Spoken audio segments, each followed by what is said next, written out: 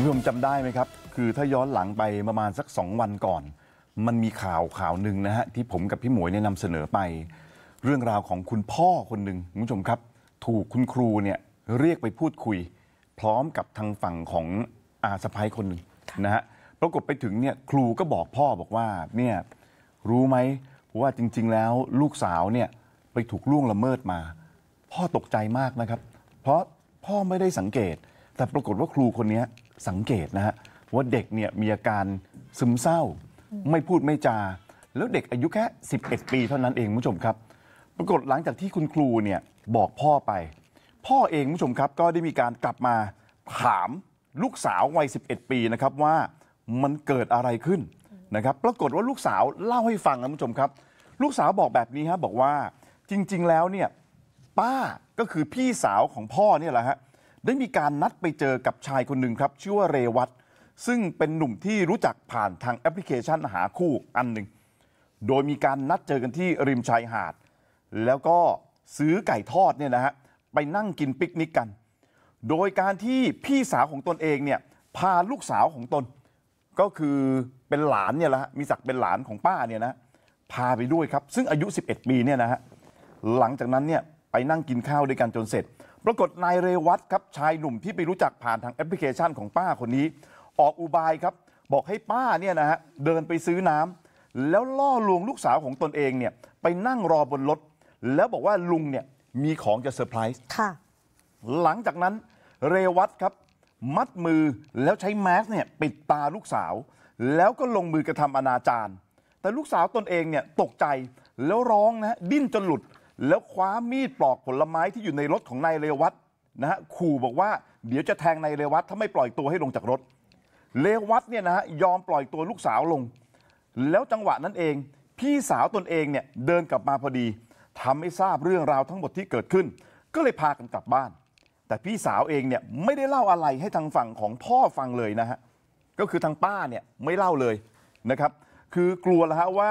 ตัวตนเองเนี่ยจะโกรธ กระทั่งตนเองมาทราบเรื่องจากคุณครูที่โรงเรียนนะครับ พอไปถามลูกสาวจนได้ข้อมูลนะฮะจึงพาเข้าแจ้งความเพื่อดำเนินคดีกับทางฝั่งของเออในายเรวัตนะครับที่สพปากน้ำหลังสวนที่จังหวัดชุมพร ซึ่งกระบวนการของตำรวจเองเนี่ยต้องรวบรวมพยานหลักฐาน ตรวจร่างกายต่างๆ เพื่อขอสารเนี่ยอนุมัติหมายจับเรวัตแต่คุณผู้ชมครับ คือหัวอกคนเป็นพ่อนะฮะคือพ่อเขาบอกเลยบอกว่า ผมเนี่ยนั่งแล้วเห็นหน้าลูกเนี่ย ผมทนไม่ไหว ผมนั่งดูลูกในระหว่างที่รอดำเนินการของตำรวจเนี่ย ผมรอไม่ไหว ผมวางแผนด้วยตัวเองครับ ผมให้ลูกสาวผมเอาโทรศัพท์ของป้ามาค่ะ แล้วโทรศัพท์ไปหาเรวัตแล้วก็หลอกให้เรวัตเนี่ยซื้อโทรศัพท์มือถือให้ แล้วก็หลอกให้มาเจอที่ริมหาดจุดเดิมที่มันทำกับลูกสาวผม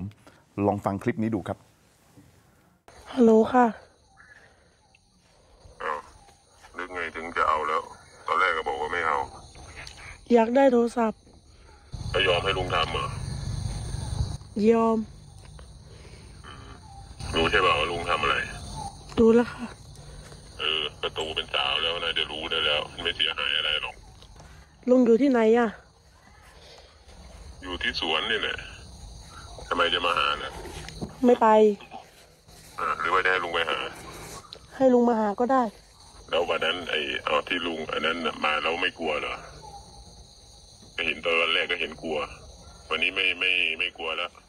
จริงๆอะถ้ายอมวันนั้นอะป่านนี้ก็ได้แล้วลุงก็พาไปซื้อแล้วป่านนี้ก็ได้คุยกับเพื่อนแล้ว ได้แชทได้มีเฟซมีไลน์อะไรคุยกับเพื่อนแล้วหนูตกใจ เออ เข้าใจอยู่ก็ธรรมดาแหละคนไม่เคยอะแต่ตอนนี้ก็น่าจะเคยแล้วนะน่าจะชินแล้วใช่ไหมรู้สึกชินยังหรือยังไม่ชิน ยังไม่ชินนะ เนี่ยคุณผู้ชมคุณผู้ชมฟังเดนสังคมคนนี้มันพูด เดนมนุษย์คนนี้มันพูด เนี่ยนะฮะนี่คือเรวัตนะฮะค่ะ คือมันไปถามเด็กด้วยซ้ำบอกว่า ชินแล้วใช่ไหมเพราะเหมือนกับหนูโดนไปแล้วตอนนี้ชินแล้วนี่ ค่ะ เด็กบอกเลยยังไม่ชิน เนี่ยฮะคือคือมันมันเป็นการยอมรับในตัวเลย ค่ะ เห็นไหมฮะคุณผู้ชมครับ ปรากฏว่าคุณพ่อของเด็กคนนี้คุณผู้ชมครับ บอกว่าเรวัตเนี่ยนะฮะคือไปซื้อโทรศัพท์มา แล้วมาตามนัดจริง ๆ มาจอดรถรออยู่ ตัวฝั่งพ่อเองเนี่ยก็เลยพาพี่ชายกับน้องชายของตัวเองทั้งหมด 3 คนฮะเดินเข้าไปหา แล้วถามเรวัตว่า มึงทำอะไรลูกกูเนี่ยนะฮะปรากฏว่าเรวัตบอกไม่ได้ทำแล้วไม่ลงจากรถนะฮะพ่อกับพี่ชายและน้องชายของพ่อเนี่ยทุบกระจกรถนะฮะ แล้วลากไอ้เลวัตเนี่ยลงมาจากรถ แล้วก็กระทืบชกต่อยกันชุลมุน ตนกับพี่ชายและน้องชาย ช่วยกันจับเรวัตเนี่ยมัดมือมัดเท้า นั่งรอเจ้าหน้าที่ตำรวจอยู่ที่ริมชายหาด ซึ่งตอนนั้นก็ยอมรับนะว่า ลงมือทำร้ายร่างกายเรวัตจริง ๆ เพราะด้วยอารมณ์โมโหแล้วโกรธที่เรวัตมันทำกับลูกสาวของผม และผมต้องเห็นหน้าลูกสาวผมทุกวัน แล้วลูกสาวผมเนี่ย มันลักษณะเหมือนจะเป็นเด็กซึมเศร้าไปแล้ว ค่ะ ทำอะไรไม่ถูก ได้แต่นั่งงงนั่งแบบเหม่อลอย สงสารลูกสาวใจแทบขาดเนี่ยนะฮะ แต่สุดท้ายแล้วครับ คือตอนนั้นเนี่ย ก็เลยปล่อยตัวของเรวัตไป ถามว่าเพราะอะไร เพราะก็ยอมรับนะว่าพอสติมันกลับคืนมา ก็ก็รู้สึกว่าเออมันมีเรื่องของกระบวนการยุติธรรมเข้ามาด้วยนะฮะ คือตอนนี้เนี่ยถูกเรวัตแจ้งความดำเนินคดี ว่าอย่างนั้น ในข้อหาทำร้ายร่างกายอะค่ะเนี่ยฮะนี่คือเรวัตที่ถูกกระทืบนะครับคุณผู้ชมครับ นี่คือเรวัตนะฮะเนี่ยครับ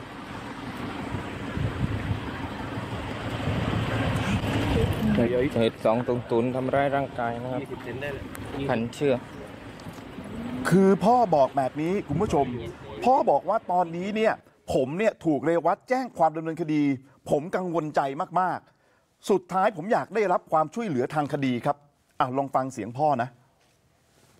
โมโหครับตอนแรกมันทำกับลูกลูกสาวผมแค่สิบเอ็ดขวบอะเลยไม่เคยรู้จักกันอยู่คนละอำเภอกันด้วย ผู้ชายคนนี้เขาคุยกับพี่สาวผมผ่านแอปหาคู่เขานัดเจอกันซื้อ KFC มา แล้วก็ลูกสาวผมขอมาเที่ยวริมทะเลด้วยครับแล้วก็มากิน KFC กันก็กิน KFC กันเสร็จแล้วก็เขาบอกให้พี่สาวผมอะไปซื้อน้ำลูกสาวผมก็จะไปกับป้านั่นแหละครับแต่ว่าเขาจับข้อมือไว้แล้วเขาบอกว่าอยู่กับลุงนี่แหละไม่ต้องกลัวเดี๋ยวลุงมีอะไรเซอร์ไพรส์พามาลูกสาวผมเดินขึ้นรถแล้วก็ เอาผ้าเอาแมสก์ปิดตา แล้วก็ผูกมือครับขู่ว่าถ้าไม่ปล่อยมันจะแทงครับแล้วก็มันก็เปิด cab ออกมาได้ แล้วก็ช่วงจังหวะป้าเข้ามาพอดีแล้วทีนี้พ่อพอพาน้องชายไปเนี่ยทำอะไรกับเขาบ้างช็อกกับจับมัดมือคือผมจะโทรให้ตำรวจเข้ามาจับใช่เพราะพวกครับเราไม่เข้าใจตรงนั้นด้วยเราคิดว่าเราบางทีเราก็มีพอมีหลักฐานอะไรอยู่บ้าง ก็คิดว่าเขาจะจับได้เลย แต่ว่าเขามันต้องไปตามกระบวนการตามกระบวนการเขากังวลเหมือนกันครับ แต่ก็ยอมรับแล้วก็เราก็ผิดเราทำร้ายร่างกายเขาเราไม่ได้มีเจตนาที่ว่าจะทำให้ตายหรือว่าทำให้เขาเจ็บหรอกครับ เนี่ยฮะผู้ชมครับคือ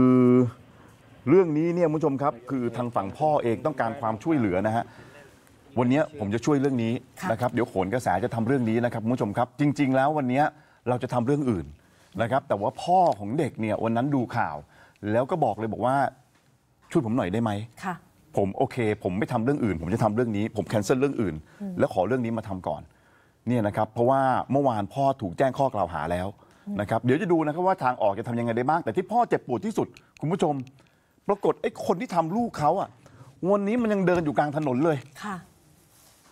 แต่พ่อกลับถูกแจ้งข้อกล่าวหาทำร้ายร่างกาย คืออันเนี้ยเราเข้าใจนะ การที่ไปใช้เอ่อ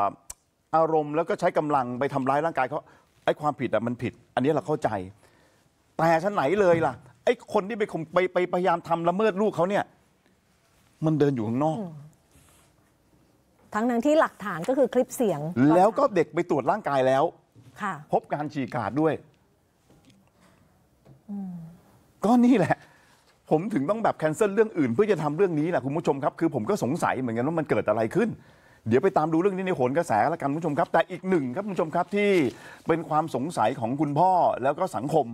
คือเรื่องราวของคุณป้าของเด็กค่ะ นะฮะว่าป้าของเด็กเนี่ยไปมีส่วนเกี่ยวข้องไหมป้าของเด็กเนี่ยนะครับชื่อว่าป้าหีดค่ะถูกไหมฮะซึ่งเป็นพี่สาวของพ่อเด็กเนี่ยแหละครับ คือซึ่งพี่สาวคนนี้แหละฮะเป็นคนที่พาหลานสาวก็คือน้องเด็กวัย11 ปีเนี่ยไปเจอนายเรวัตคือป้าหีดเนี่ยยอมรับกับทางทีมข่าวเที่ยงวันทันเหตุการณ์นะครับบอกว่าเธอเองรู้จักกับเรวัตผ่านแอปพลิเคชันหาคู่จริง มีการพูดคุยกันผ่านแอปพลิเคชันนะฮะมาประมาณสัก 2 เดือนกว่าๆนัดเจอกันครั้งสองครั้งแล้ว ล่าสุดที่เกิดเหตุเป็นครั้งที่ 3 โดยนัดกันทุกครั้งเนี่ยตนเองไม่ได้พาหลานสาวไปด้วย แต่ครั้งนี้หลานสาวขอไปเที่ยวทะเลด้วย แล้วก็จะได้กินไก่ด้วยไก่ทอด เธอเองก็เลยพาไป ก็ไม่คิดว่าการพาหลานสาวไปครั้งนี้เนี่ยจะถูกเรวัตก่อเหตุทำอนาจารแบบนี้ ซึ่งหลังจากเหตุการณ์ที่เกิดขึ้นกับหลานยอมรับรู้สึกโกรธมาก แล้วเสียใจที่พาหลานสาวไปเจอกับเหตุการณ์แบบนี้ ยืนยันนะว่าต้องการดำเนินคดีเอาเรื่องทางเรวัตให้ถึงที่สุดเหมือนกัน ฟังเสียงป้าหีดดูนะฮะ ว่าไปในแอปหาคู่อะค่ะ ประมาณสองเดือนอะเพิ่งไปนัดเจอได้สองสามครั้งมั้งคะเขาซื้อไก่มา แล้วเขาบอกว่าให้พาหลานมากินไก่ด้วย พี่ก็ไม่ได้คิดอะไรคิดว่าเขารักหลานเราอะนะพี่ก็พาไป พอพอกินไก่เสร็จเขาบอกว่า เดี๋ยวไปซื้อน้ำนะหลานน่ะอยู่คุยกับเขาก่อนพอพี่กลับมาจากซื้อน้ำก็หลานก็เลยวิ่งจากรถลงมาร้องไห้ก่อนไม่คิดว่ามันจะเกิดแบบเนี้ยก็เครียดเหมือนกันนะคะกังวลไหมตอนนี้น้องน้องชายเราก็เหมือนจะโดนข้อหาทำร้ายร่างกายไปด้วยอะไรเงี้ยก็ไม่นะครับเพราะว่าน้องชายเขาทำเพราะเขาเสียใจเรื่องหลานน่ะ ก็อยากให้มีช่วยอะค่ะเขาหลอกพี่ว่าเขาอะไม่มีเมียน้องชายบอกว่ามันมีเมียทั้งสามคนก็เสียใจอะก็โกรธอยู่อะครับคือพี่ไม่คิดว่าคนไทยด้วยกันมันจะหลอกได้ขนาดนี้อะรู้สึกผิดด้วยอะแล้วก็ที่เสียใจที่เกิดเรื่องกับหลานเพราะหลานก็รักเรามากดำเนินคดีให้ถึงที่สุดเลยไหมฮะใช่ค่ะใช่ค่ะคือป้าหีดนะฮะซึ่งเป็นป้าของเด็กคนนั้น แต่บอกคุณผู้ชมเลยนะครับว่า ณวันนี้เนี่ยคุณพ่อเองก็ยังมีข้อสงสัยอยู่ในใจอยู่ ว่าป้าหีดจะไปเป็นหนึ่งในตัวละครที่เรียกว่าเป็นนางนกต่อ พาลูกสาวของเขาเนี่ยไปเจอกับเรวัตหรือเปล่า เดี๋ยวมันคืออะไร เดี๋ยวไปฟังในโหนกระแสกันแล้วกัน เพราะคุณพ่อบอกว่ามันมีข้อสงสัยบางอย่างนะฮะที่คงต้องถามป้าหีดด้วยเหมือนกัน ถ้าร่วมก็คือก็จะมีข้อหาเป็นธุระจัดหา ร่วมเป็นธุระจัดหาเนี่ยแหละครับแต่ที่แปลกใจคือพ่อถูกแจ้งข้อกล่าวหาว่าทำร้ายร่างกาย อันนี้เราเข้าใจนะ เพราะไปทำเขาจริง ๆ แต่ฉะไหนเลยไอ้คนที่ทำตอนนี้มันยังเดินอยู่ใช่ค่ะ นี่นะฮะคือตอนแรกเหมือนกับตำรวจแจ้งข้อกล่าวหาสักอย่างนะแล้วก็อยู่ดีก็ก็ออกมาได้ ประกันตัวหรืออะไรยังไง แต่มันเป็นเรื่องของเด็กอายุ 11นะแล้วไปล่วงละเมิดทางเพศอะมันจะออกมาได้ไงวะผมก็ยังงงค่ะๆอ้าวโอเค ไม่เป็นไรเดี๋ยวไปว่ากันในผลกระแสเพราะพ่อก็ยืนยันว่า ชายคนนี้คือเรวัตเนี่ย ตอนนี้ออกมาเดินข้างนอกแล้วค่ะนะ